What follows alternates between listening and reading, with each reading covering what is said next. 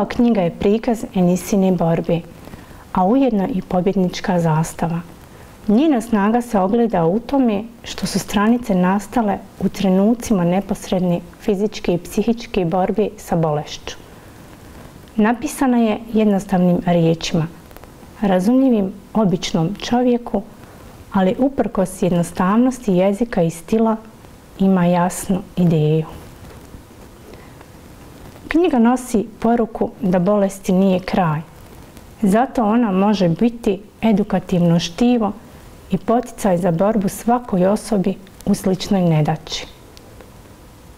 Ali i nosi poruku svakom ko traga za istinskim vrednostima. Poslije svakog pročitanog redka, čitatelj svata da je u životu najvažnija vjera. Vjera u Boga i njegovu milost. Milost kojom Bog obasipa svakog čovjeka, a mi smo dužni da je dijelimo međusobno. IML TV bio je na dirljivoj promociji ove knjige u Travniku, čiji je moderator bila Amara Šabić, pjesnikinja i žena koja je kroz život vodila tešku bitku sa bolešću. Ja sam Amra Haskić-Adilović, a vi u nastavku pogledajte ovu emotivnu priču. E, naša gošća večeras je e, Enisa Zulović i ovom prilikom želim joj dobrodošlicu uz zahvalnost koju izražavam uh, Alije Fende Cikotiću, Džematu Kalvunar i svima vama što ste se odazvale, što ste došle. Elhamdulillahi Rabbil Alemin, wassalatu wassalamu ala khairi halkihi Muhammedin wa ala alihi wa sahbihi ajma'in Allahumma rabbi šrahli sadri ve jesirli emri vahlul ahlul min lisani jefkahu qavli sve što bi ja pričala o Enisi, ja sam stvari nešto napisala ovdje za ovu njezinu knjigu prije nego što je izašla i shvatila da nisam, što, što ono kažu, ima ona jedna slika neke nene, stoji ovako pa gleda, kaže, ne znam jesam li pošla ili sam došla. Kad sam počela pisati ono što bih mogla reći o njoj, e, shvatila sam da nisam ni počela ni završila, e, ni sa čim što bih svim srcem željela pretočiti na papira ne mogu, bez obzira koliko e, Allahovom voljom sam eto, počašćena tim darom pjesništva. Zato što emocije koje, koje me vežu za Enisu e, na, na jednu stranu me raduju, ponosna sam što je poznam, što imam, na drugu stranu sam e, postiđena ispred nje, a u momentu kad sam to pisala bila sam i uplašena. E, ponekad se uplašiš onoga što e, smatraš da je veće od tebe, da će te srušiti, da, da, eto, da će nadvladati nad tobom, a nekad se uplašiš nad sitnoćom onoga što se pojavi ispred Allahovog groba, kada taj rob zauzme onakav stav kakav je zauzela Enisa, alhamdulillah, Allahom voljom i milošću. Sve što se događa, njegov je dar i čast nam je od njega. Pa hvala Allah kad smo u toj skupini, kad nismo u onoj drugoj koja se žali i koja plače na Allahu odredbu i nisu zadovoljni. E, kada kažemo zadovoljstvo sa Allahovom odredbom, moramo u prvom, u prvom redu istaći da je to jedan stepen više, mi mislimo da je to ono prihvatamo Allahu odredbu, eto šta ću Allah mi tako odredio i to je tako. Mi znamo da Allah sve odredio, alhamdulillah, vjernice smo, to imanski šart, a zadovoljstvo Allahovom odredbom je jedan stepen više od toga. To nije samo ono, pa eto šta ću, Allah mi dao.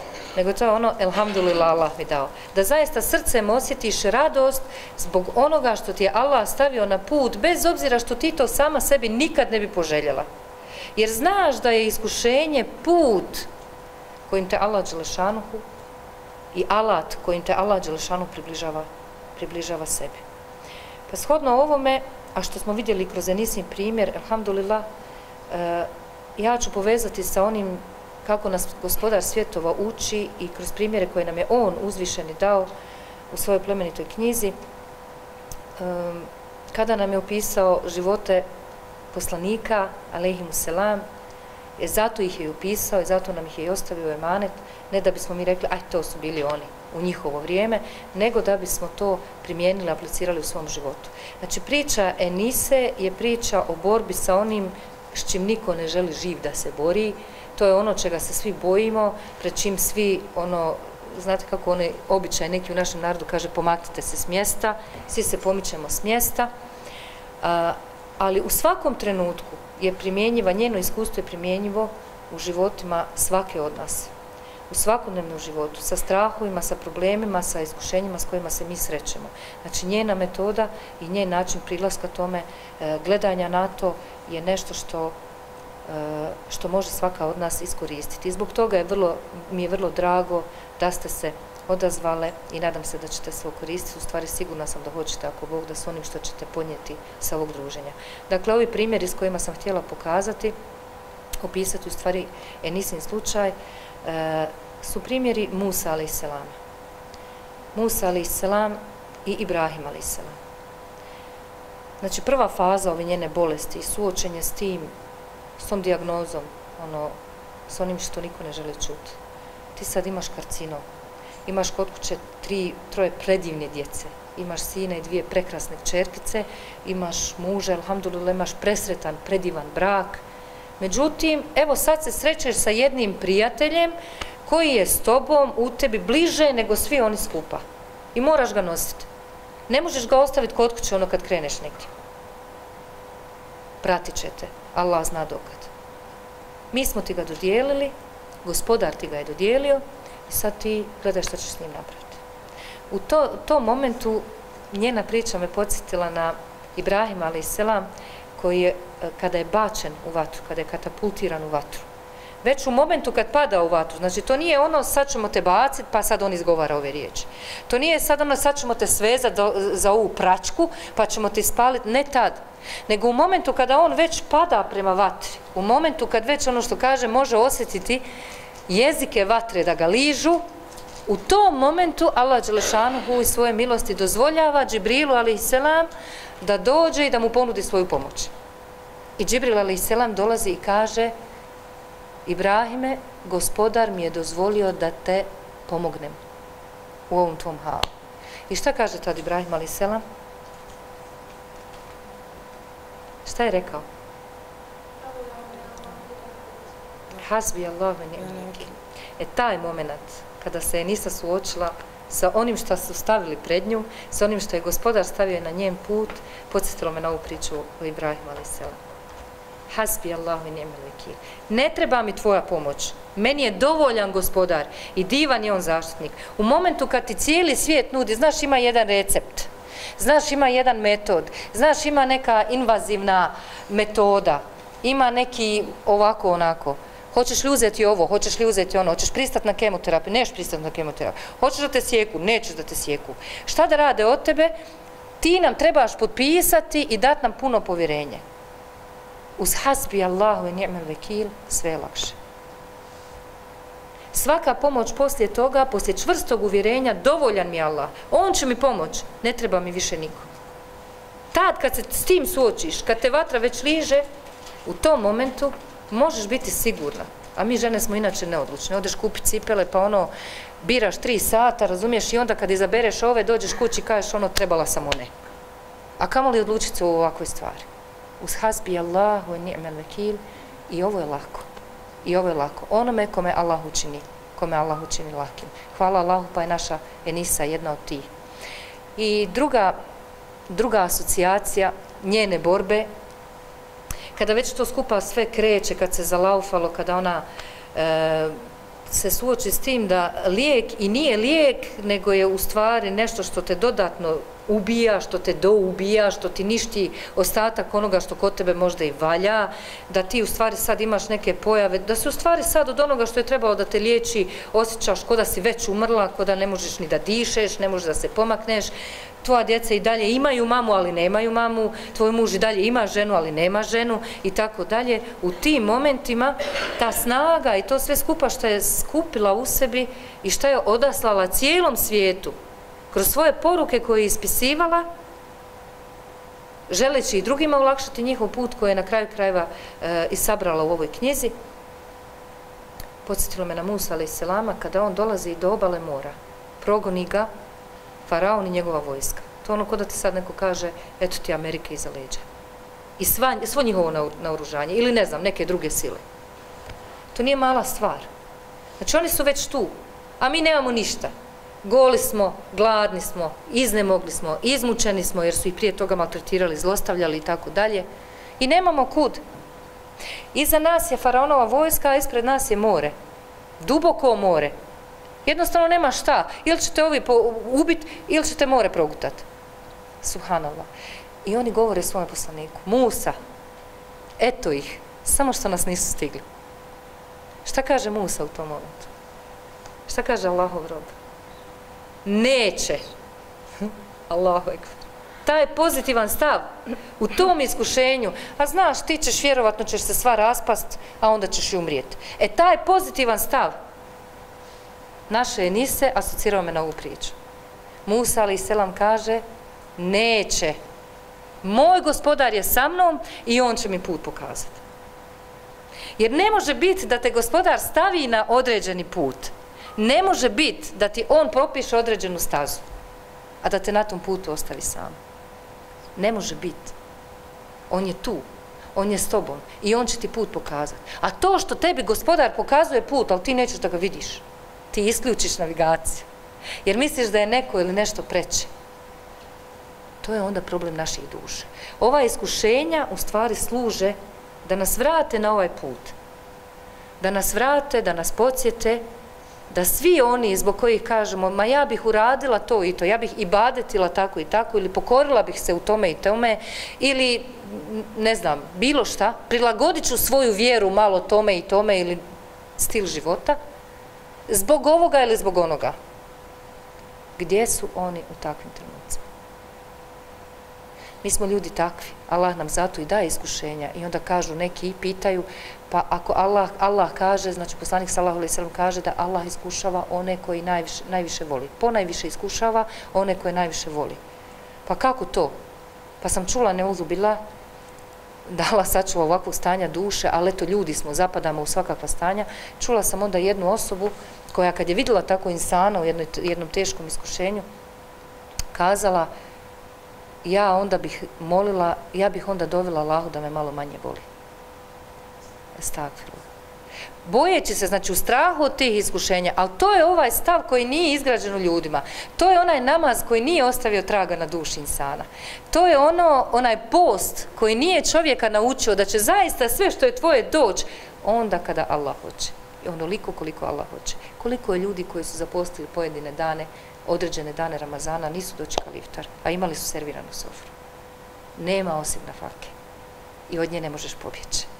A kad bi za njom trčao, ne možeš je stići. Ona će tebe stići. Baš ono što ti je na fakat. Ti trčiš za sjednicom, a stigne ti burek. Naši izbori su samo odraz naših duša samo odraz naših duše i ništa više. Allah Đelešanu kad te dovede u takvu situaciju, kad ti dadne takvu situaciju, a ti zaista vidiš, jesu doktori, jest porodica, jest kemija, tehnologija, medicina, mehanika, drž ne daj, prirodna, izvori prirodne medicine, sve je to tu. Ali sve to funkcioniše samo kada Allah kaže kun. Kun, fe kun. Allah kaže budi i ono bude. I to je ta veza između roba i gospodara. I nakon ovakvih pranja, nakon ovakvih kemijskih čišćenja, šta god i kad god da ti stane na put, može biti na putu, ali ne može biti prepreka između tebe i gospodara svjetova. Molim Allaha Đelešanu da nagradi našu enisu, što je svoja iskustva i vapa je svoje duše, one koje budu čitale knjigu, nadam se što je sve pročitat, e, za svojom djecom u momentima kada kao insan ima i brige i strahove, kada ima i emotivne momente, kada ima i momente prkosa, kada ima momente odbijanja istine, prihvatanja istine i tako dalje.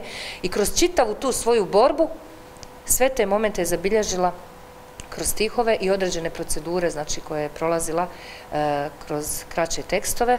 Molim Allaha Đelešanuhu da nama budu od koristi i da nju nagradi e, zato što nas je udostojila toga da nam ovaj emanet preda da nam budu jedna, jedna svjetiljka na našem putu kada dođemo u određena stanja i kažemo ja dalje ne mogu.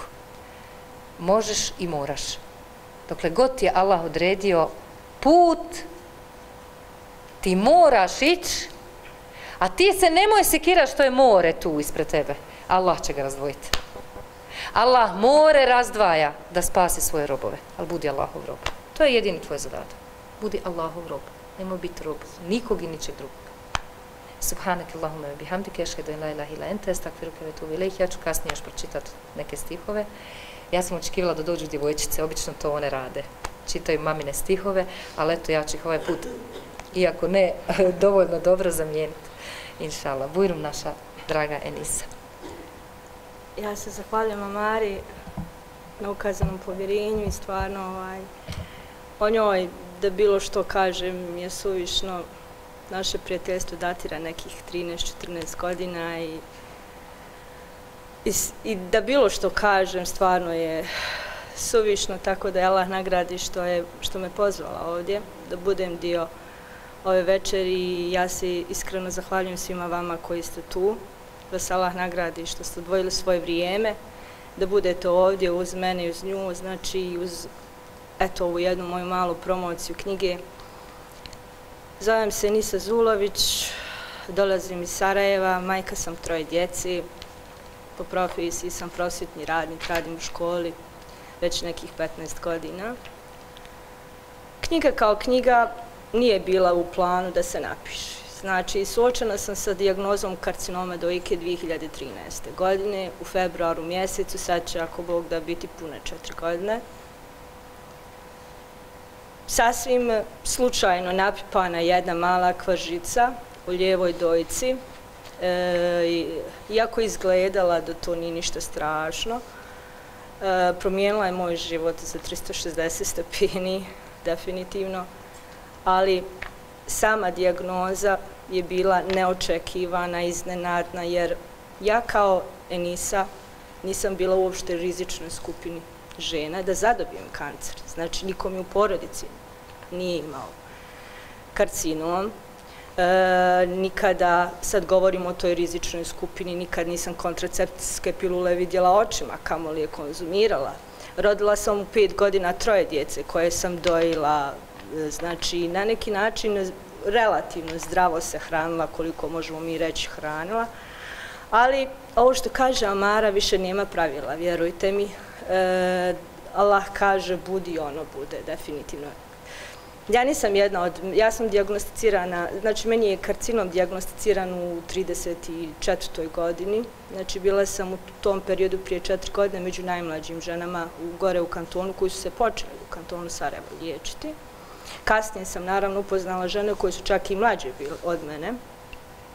Znači prva eh, moja diagnoza, u stvari diagnoza ljekara je bila optimistična, znate, nije to ništa. To je jedna običan fibroadenom, fibrocistička masa, benigne tvorevni, vi ste mladi. Nima uopće odlike karcinoma, znate, šitala je ta kvržica, eh, boljela je na dodir, sve imalo suprotno od ono što je karcinom. Karcinom ne boli, on je fiksiran za područje i tako dalje i tako dalje. I onda su počele pretrage, ultrazvuk naravno pokazao fibrocistična masa, zatim e, mamografija također skeptična je bila, eto i je karcinom i nije karcinom i naravno e, na moje insistiranje rađena je punkcija. E, znači punkcija e, te kvržice koja je poslata na patologiju da se ustanovi o čemu se doista radi. E, nalaz funkcije je došao u roku nekih e, 5 dana i naravno potvrdio da se radi o karcinomu. Znate, nije lako, bez obzira koliko ste vi duhovno jaki. Nema tog čarobnog štapića da vam može na momente izbrisati onaj bojaz, šta, šta se to u biti dešava sa vama i šta će se to desiti. Nije lako kad vi na onom papiru pročitate invazivni karcinom, mišljenje maligno. Znate, ono na prvi e, dodir, na, na prvu misao što vam prođe, ono, to je kraj, bez obzira kako razmišljate, u, u kakvom ste halu. U, jednostavno, to je ono, na momente se desi. Nije jednostavno, naravno. To je meni trebalo nekih par sekundi.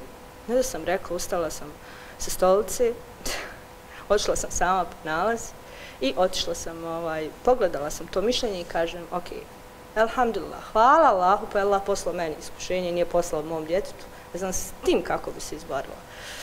Trajala je, znači, taj neki moment, možda par nekih minuta, meni je bila veća briga kako doći sad kući. Kako reći mužu, roditelju, To mi je bila najveća briga. Djece su bila mala. Najstarija čerka je krenula u prvi razred. Druga je preškolsko, sinu je tri godine, ajde opet. E, smatrala sam mali su, neće oni tek tako to nešto sad tragično shvatiti. Ne razumiju, naravno. Dok sam ja vadila, znači, nalaze u tih nekih 15-20 dana, pošto sam trebala uraditi kor biopsiju da vidimo od čega je građen taj moj maligni tumor, šta treba, kako treba i sve to, e, on je sa 7 mm porastu na 3,4 cm, imao je veličinu prepeličnog jajeta. Znači, krenuo je ka plućima, obuhvatio je aksile, znači pazušnu jamu. E, mislim, situacija bila ono, nimalo, onako da kažemo, dobra, I na prvu konsultaciju sa mojim onkologom on je rekao, Nisa, ja želim da budem otvoren sa tobom. Situacija je, nažalost, loša. Ja se nadam da ćemo se uz Allahu pomoći izboriti sa tim, ali moraš biti svjesna situacije u kojoj se sad nalaziš. Kažem ja, doktore, ja sam svjesna. Što ćemo? Hoćemo li krenuti sa kemoterapijskim liječenjem ili ćemo krenuti sa nekim alternativnom nekom metodom? Meni su onako, jao, nemoj, kakva kemoterapija, pa ona i, i hrani kancer, pa ovako, onako, pa počne koristiti gas, počne koristiti ovo, počne koristiti. Znate, kad dođete u situaciju u kojoj sam ja došla, vi ne možete puno kalkulisati, želite li krenuti sa nekom alternativnom metodom ili krenuti sa kemoterapijom. Vi puno izbora tu nemate. Ja sam se odlučila za kemoterapiju. Počela smo, od, počeli smo odmah sa kemoterapijom, da bi e, spasili jedan dio pluća koji je krenuo, da ne bi došlo do još većeg metastaziranja i da bi smanjili tumor kako bi bilo lakše mojoj doktorici operirati. Znači, predviđeno je šest kemoterapija. Prvi dan kemoterapije bio prvi dan Ramazana. Ja ne znam što mi u životu bilo teže, to što nisam mogla postiti, Ramazan je bio, ili taj prvi dio kemoterapije, koji je, nažalost, bio pa sigurno najteži od svih ovih šest.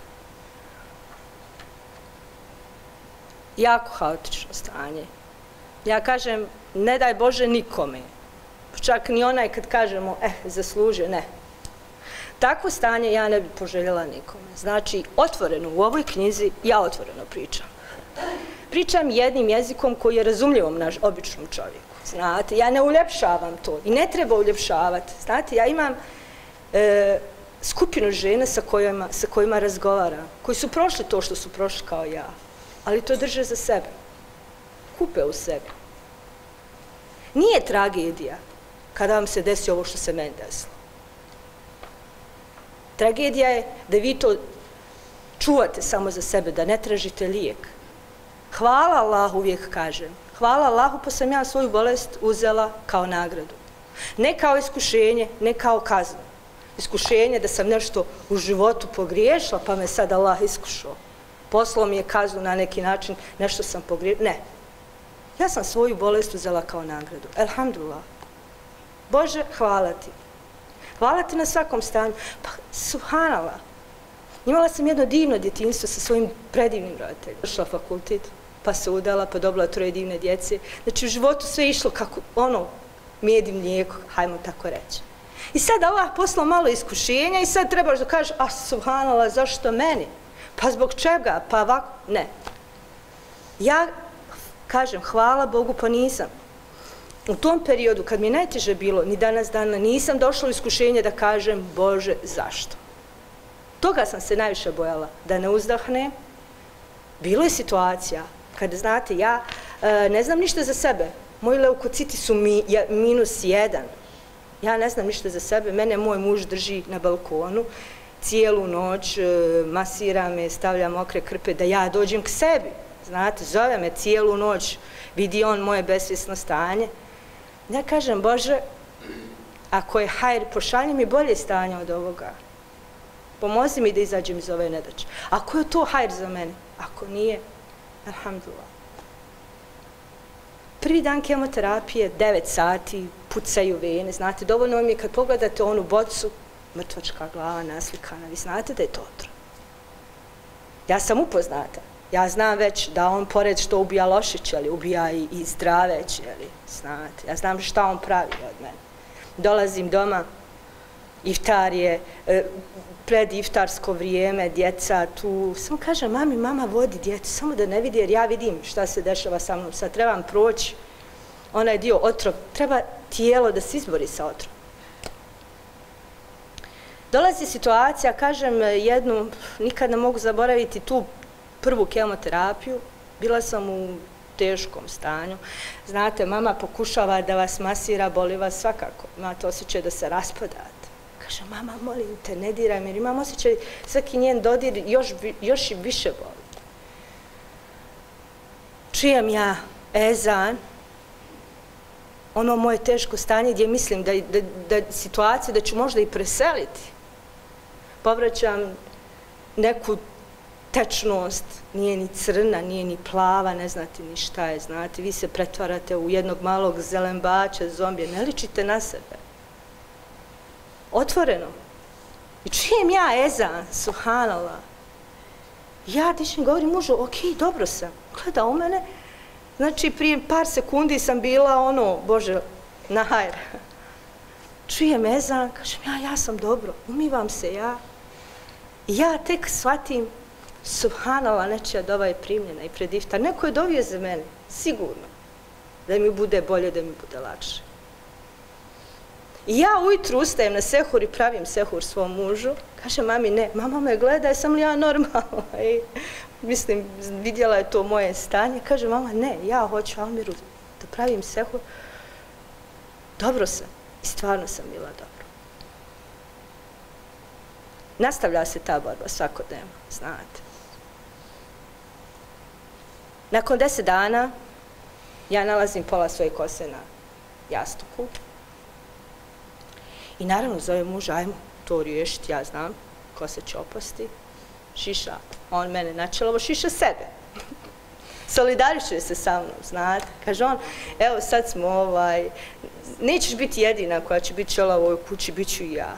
Bio je godinu dana čelav, solidarisao se, jako imao dužu kosu do tu solidarisao se sa mnom. E, muž je bio doista jedna najveća podrška. Znate, sve je to i mama, i roditelji, i sestre, i brat, ali onaj saputnik sa kim, sa kim vi živite. On vam je najbitnija podrška u svemu. Ja kažem, on mi je i brisao suze i plakao sa mnom i, i kupao me i svašta nešto kad sam bila u situaciji, ovaj, kad sam mislila da on je bio taj koji je bio uz mene. A čvrst, Uvijek sam se pitala kako nije pokleknuo. Ne znam, ne daj Bože da je bila obrnuta situacija. Ja bi sigurno tu pokleknula, ali on nije. Valjda to Allah nekako pošalje i snagu da, da jedno drugom, da se imamo ono, tako reći, na nekoga oslaniti.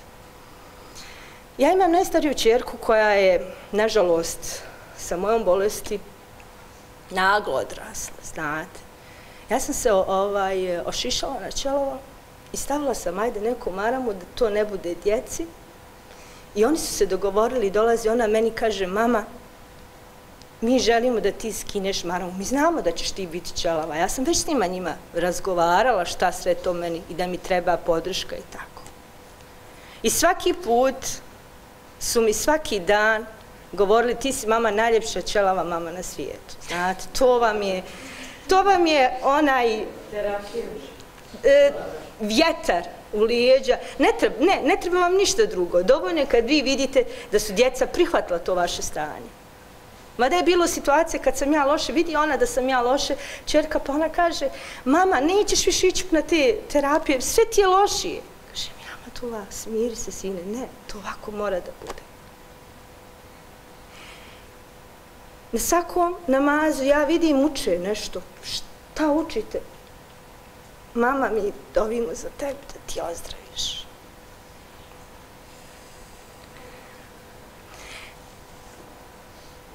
Znate, kad jedna desetogodišnja djevojčica nema nikakvih želja u životu, nikakvih želja, samo jednu da mama ozdravi. Znate, danas djevojčice, meni je to, ja sam došla u čiteljicu koja je ono, došla u vidim potresena i kaže meni samo sekundu ostanite nisa da porazgovaram s vama. Ja sad nešto ono da nije šta zaboljelo, ono majka ko majka. Kaže mi smo tako razgovarali svi ono naše želje, gdje se vidimo, šta se vidimo i tako djece, ja želim novu barbiku, želim novi telefon, želim ono, puni smo nekakvih želja, ambicija i tako, ko današnja djeca.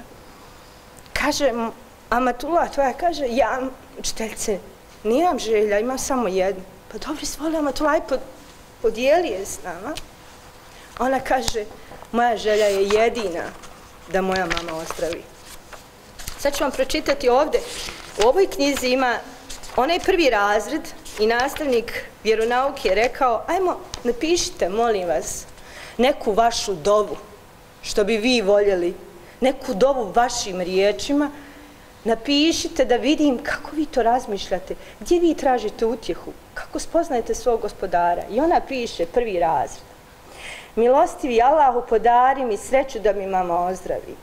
Vra, uputi me na pravi put, daj mi snage da budem dobra muslimanka, daj mi strpljivosti čekanja do maminog ozdravljenja. Jedna, znači, šestogodišnja djevojčica, da piše na ovakav način.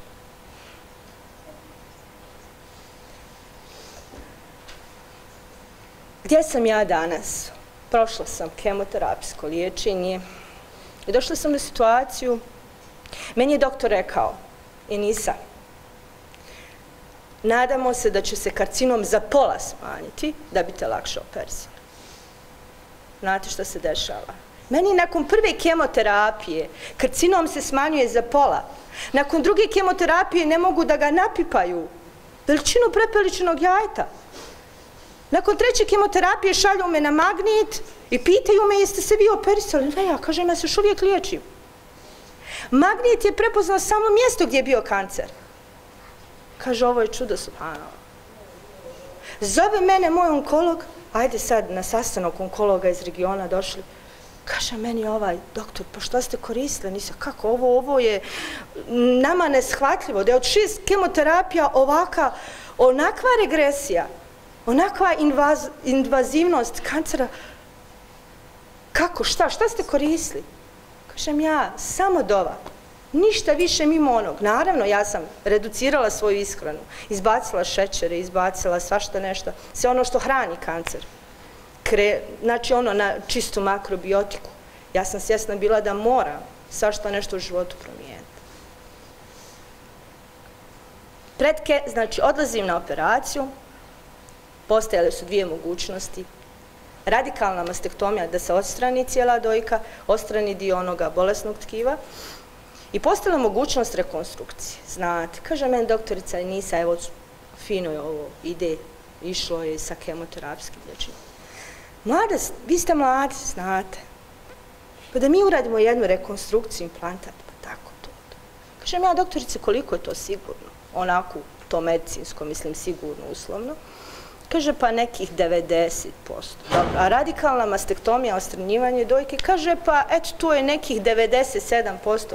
Znate, meni ti 7% u životu dosta znači. Hvala Allah, Allah mi je dao djecu.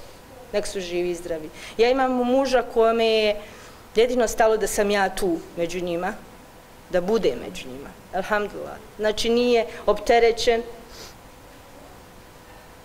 Jesam li ja? Bez dojke ili sa dojkom. Bilo je pitanja, znate, od sestara, pa eto, kako se ti kao žena osjećaš? Jer sam ja manje ženstvena što nimam dio sebe, znate. Allaha mi, nikad nisam došla u situaciju da sam se osjećala manje ženstvenjom naprotiv. To valjda Allah pošalje. Tu sigurnost, tu stabilnost i sve to. Nije bilo jednostavno kad sam ja otišla na prvo previjanje, pa sam bacila pogled, čak sam upisala to u svojoj knjizi, bacila sam pogled, ja sam vidjela situaciju. Valjda je to, pa žena sam subhanova. Nije jednostavno kad vi vidite da nemate taj dio sebe. Kažem, ne daj Bože niko da dočeka da izgubi neki dio sebe. Ali, alhamdulillah, pokupila sam ja tu neku snagu sebe, obrisala suze, naravno suze same, bez obzira Kažem ono malo prije koliko ste duhovno jaki, dođite vi u situaciju slabosti. Lepije za emocija. I strah se javi, i tuga, i bol. Sve se javi u jednom momentu. Ali na kraju opet kad vi sami sa sobom onako razmislite, kažete alhamdulillah. Ja sam kroz ovo iskušenje spoznala na najbolji način svog gospodara. Nikad ubriža nisam bila. Ali je to tako i moralo da bude. Kroz svoje iskušenje sam shvatila da doista sve što se zbiva je Allahov kader i da ne može te mi ići nikako. Odlazim ja na magnetnu rezonansu Bila sam nekada, ima, operirala sam žuč, pa su me poslali jedne prilike. Znate, to vas u Sarajevu, bar kod nas, neki stari magnet, star 30 godina, nažalost, sad idem u Zagreb na neke pretrage koje mi ne mogu u Sarajevu raditi. Kad sam ja odnjela e, disk e, ovaj, e, sa svojim nalazima, čovjek e, u Zagrebu ne može da mi otvori, pita meni, gospođo Nisa, kakav je to magnet, čovjek, ja mu pokažem sliku, kaže, pa mi smo imali ovo nekad prije rata. A mi imamo taj magnet, a svaka četvrta žena u federaciji boli od karcinoma dojke, poražavajući podaci. Mi nemamo registar. Mi imamo jedno udruženje, par žena oko sebe, znate, ono, ako možete nešto, ne, neku na faku sa strane, nešto uradite, pravite projekate i to. Niko ne radi sa mladim ženama. Ja bi voljela da sam ja bila nekad u situaciji da dođem sad pa da porazgovaramo, da kažemo naši, naše pola, ja radim sad sa djevojkama, gimnazijalkama, trećeg i četvrteg razreda, bez obzira da li su u rizičnoj skupini, radim na prevenciji, na educiranju, da moraju ići na pregled. Znate, kad kažeš pa niko mi nije u porodici, on to misli, to je rizik jedini. Nije to jedini rizik.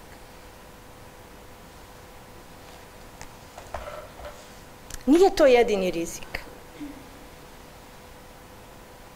I doista nije.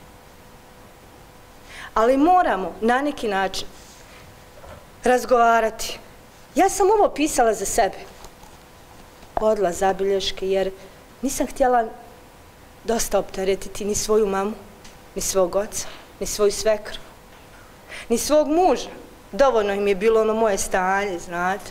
I onda sam ja to pisala za sebe, te svoje nekakve emocije, bilo mi je lakše.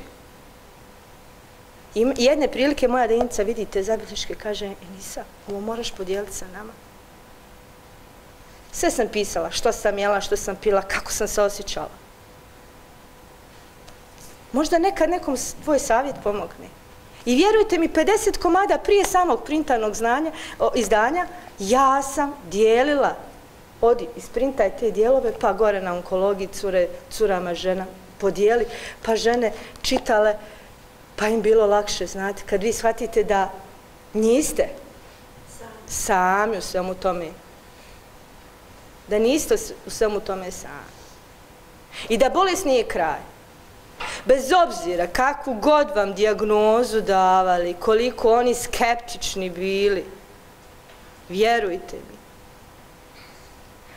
ne umire se od bolesti, umire se od smrti. Nikad niko ne zna koliko mu je Allah ostavio na faki. Niko. Ja ne znam, evo, četiri godine od diagnoze, ja sam još u tom dvogodišnjom periodu borbe, kad se kancer može vratiti te kako.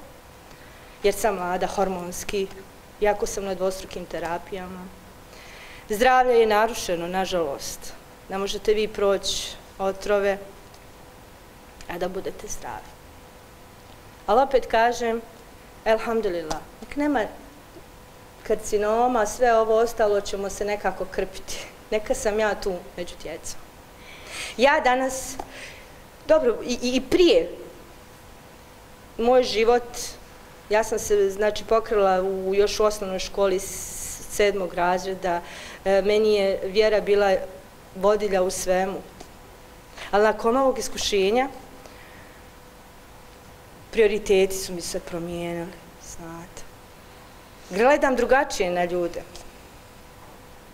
Doista gledam drugačije. I svaki dan živim kao da mi je zadnji. Uživam sa djecom, svojom, Pokušavam da ostavim iza sebe koliko kakav hajr. Pokušavam da učestvujem u edukaciji, u prevenciji mladih žena. Ima žena koji ne žele otvoreno razgovarati. Suočene su sa bolesti. Ali jednostavno nisu kao ja. Opet ja kažem, valjda profesionalna deformacija, to što radim u školi i tako. Mada uvijek meni muž kaže, a ti što pričaš, uvijek se vadiš na tu profesionalnu deformaciju. Ovaj, ali valjda Allah pošalje nekoga koji mora i otvoreno o ovome razgovarati. Ne možemo svi šutiti. Nije ni dobro da šutimo, da kupimo u sebi. To stvara kiselost u našem organizmu. A to je hrana za naš karcinom. Svi mi imamo loše i dobre ćelije. Znate, kod nekoga se aktiviraju, kod nekoga ne. Nikad ne znamo kad će se aktivirati. Zato moramo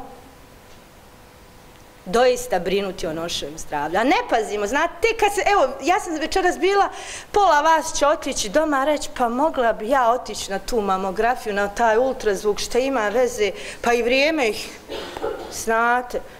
Ja svoje sestre kaže, pa vidite, desilo se meni, ne mora znači da će se desiti vama, ali dajte vi, preventivno djelujte.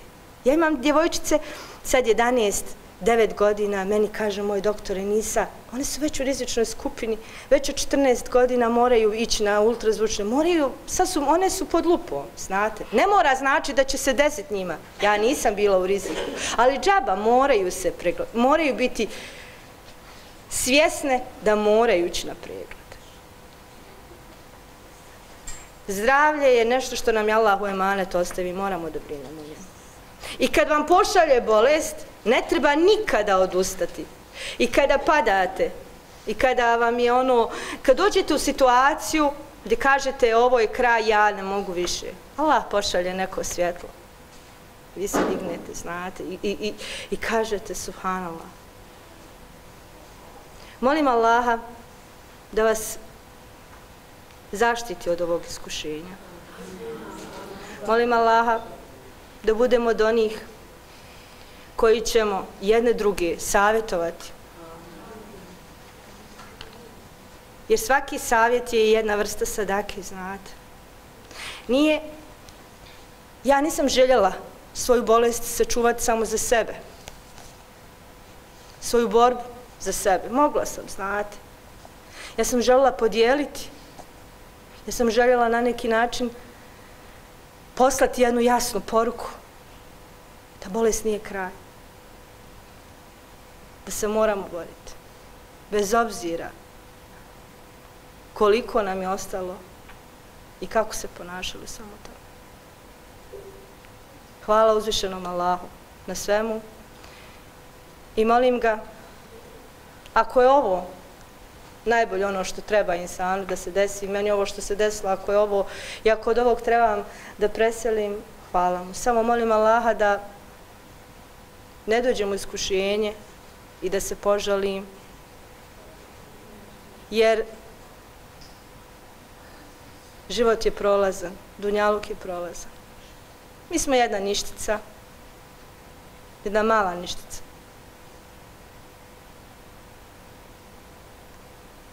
I zato budimo podrška ženama koje su oboljele od karcinoma. Koje su oboljele ne samo od karcinoma, od bilo koga. Ovdje imaju poruke mojih sestara, prijateljica, mislim, koje mi nikad ništa, nisu mi, nije, nije mi ono što kaže majka rodila, nisu mi rodbina, ali bili su mi jako velika podrška. I ja sam njima dala mjesto u ovoj knjizi. Dala sam njihove poruke. I uvijek kažem, budite podrška onima koji su oboljeli. Jer lahko je pjevati sam, a plakati je potrebno i čvrst rame i ruka podrške. Da nam se Allah smiluje, da se Allah nagradi. Hvala vam još jednom. Amin. Ja ću samo jedan mali dio pročitati ovdje. Kada je Nisa otišla na tu terapiju, stvari prije nego što će otići, način na koji ona opisala te svoje osjećaje i cijela knjiga je u stvari tako. Jednostavno ono, pijem sad kahu s nekim pa malo popričale. Eto, tako, tako se družiti sa ovom knjigom. Ovo su ogromni osjećaje, ogromne emocije koje koje su iznesene na tako jedan ljudski način. Kaže, Nisa četvrtak je, jutro, mirno, tišina, čujem otkucaje svog srca. Jeste li kad bili u toj situaciji da stvarno toliko sve umre, pa čini ti se i ti si umrla, ali ono, eto, čuješ otkucaje svog srca. Svana. Gledam u lica svoje dječice, mirno spavaju, divna moja djeca. Ljubim ih, mirišem njihovu kosu. Pokušavam da sakrijem suze, ali ne uspijevam. Amatula se budi, grli me svojim ručicama čvrsto, ne ispušta me, ne govori ništa. Dovoljan je njen tužni, zamagljeni pogled. Sklanjam pramen kose sa njenog lica i govorim nježno. Brini se brini se o bratu, seki i babi dušice. Vješto krijući suze.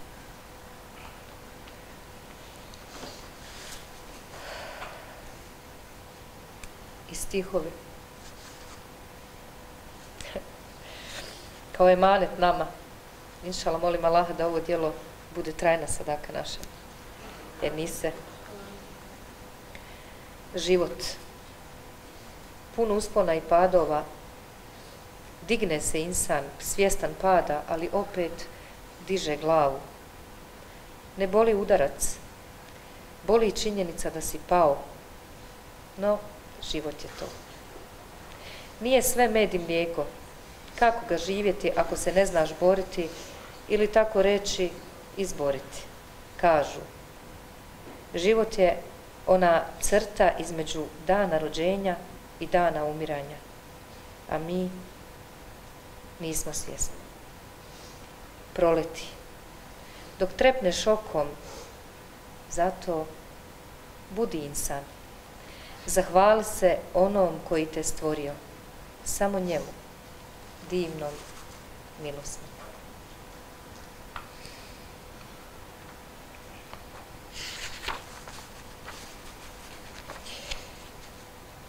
jedna, jedna koja govori u stvari jako, jako mnogo o čitavom, čitavom tom procesu suočavanja sa iskušenjem.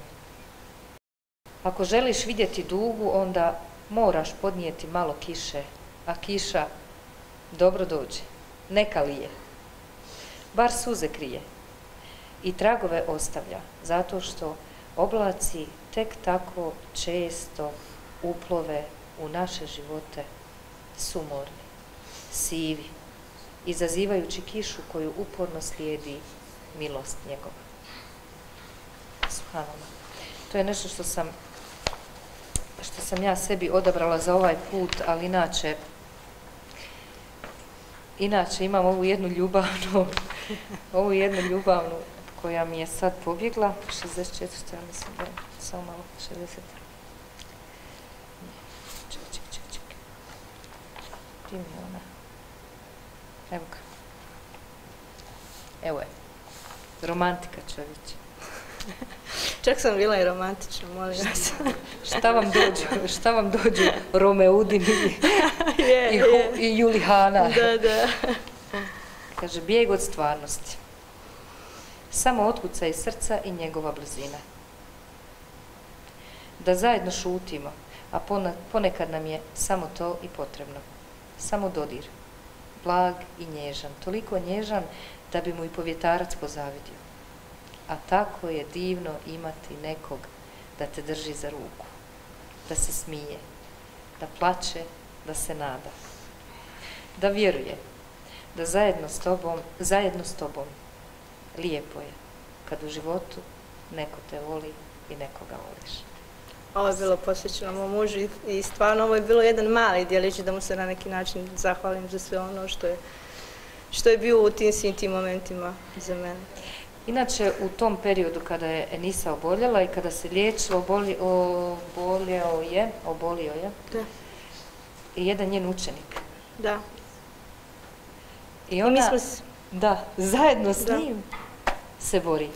E, moj učenik kome sam ja razrednica, ali taj splet od okolnosti, ja sam preuzela razred čija je učiteljica umrla od karcinoma, dojke znate, pa sam ja preuzela razred i onda ja njima kažem ja se liječim od karcinoma i onda ona je skeptik kod njih, tužan pogled i saznam nakon dva mjeseca suočen mi je dječak, moj učenik, kome sam ja razrednica, suočen je sa karcinomom limfnih žlijezda. To je za mene bilo kao da ja proživljavam ponovo onu svoju borbu, znate, nakon godinu dana. I hvala Bogu, vratio se i on među u školske klupe i borimo se još uvijek zajedno. I bili smo nadopunjavali smo se i danas danile se nadopunjujemo. Ja kad dođem u školu, ako sam nešto umorna, znate, trčim košavo pregled i dođem na posao i on mene vidi, ili ako vidi da sam ja nešto ozbiljna, nosim ili bombonu ili kocku čokolade i tako ono da me on raspoloži, ovaj, osjeća kao neku zahvalnost i toliko mi je na stranu, sva su mi djeca, ali on mi je nekako prirastao za srce i bio je veliki borac, doista još uvijek se zajedno borimo i dobar je mašala, bit će dobro ako.